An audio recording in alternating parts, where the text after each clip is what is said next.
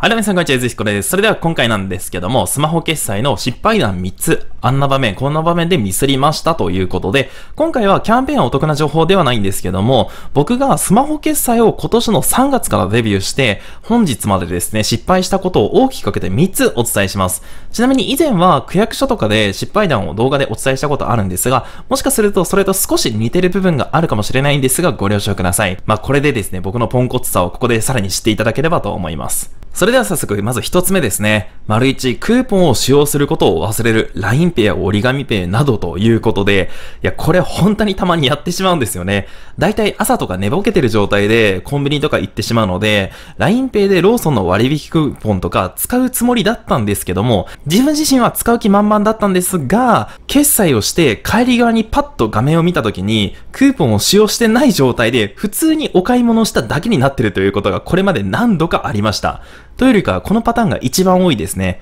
あとは折り紙ペイも同様ですね。折り紙ペイもクーポンを使用してお支払いという項目があるんですけども、こちらもガン無視して普段通り決済をしてしまうという感じですね。そしてよく行くお店なので、なんかわざわざキャンセルとかしてもらうのもめんどくさそうなので、まあ大体渋々帰ってますね。ちなみにキャンセルとかされた方いらっしゃいますか？僕はしたことがないので、ちゃんと残高ってすぐ戻ってくるもんなんですかね？まあ、ちょっと気になるとこではあります。もちろん僕自身もよっぽどのことがない限りはキャンセルとかはしないと思います。次に二つ目ですね。丸に残高不足で焦る。もうこれもたまにありますね。基本的にレジで並んでる最中とかは、アプリを立ち上げてすぐに決済できるようにはしてるんですが、そのままアプリを立ち上げるまではいいんですが、残高をチェックしてない時があるんですよね。しかも僕の場合は使いすぎを防ぐために、オートチャージなどの機能は使ってなくて、なので、それが逆に残高不足で決済できないということがたまにあります。なので一瞬焦るんですけども、秒速でチャージをして決済をしています。いや、ほんと迷惑をかけてしまった店員さんにはもう申し訳ない気持ちでいっぱいですね。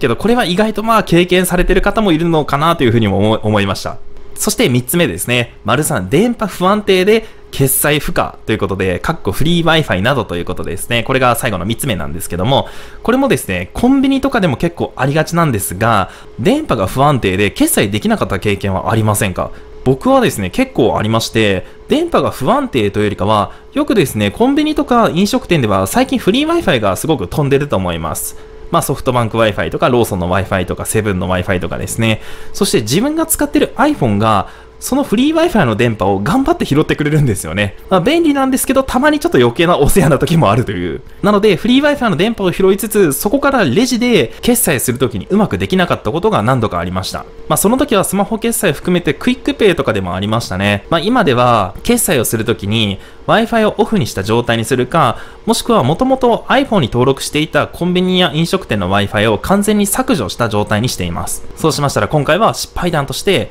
1、クーポンを使用することを忘れる。2、残高不足で焦る。3、電波不安定で決済不可。こちらの3つについて主にお伝えさせていただきました。なので、当たり前なんですけども、今ではレジに行く前にクーポンを使うときはクーポンのチェック、そして残高のチェック、そして Wi-Fi も確認した上で決済をしています。またですね、これからスマホ決済を使う上でいっぱい失敗することも僕も出てくると思うので、その時もですね、まとめて動画にしてお伝えしたいと思います。ぜひですね、僕のチャンネルの視聴者さんでこんな失敗を経験しましたなどですね、ありましたら下のコメント欄に書き込んでいってください。ということで、本日の動画は以上です。ご視聴どうもありがとうございました。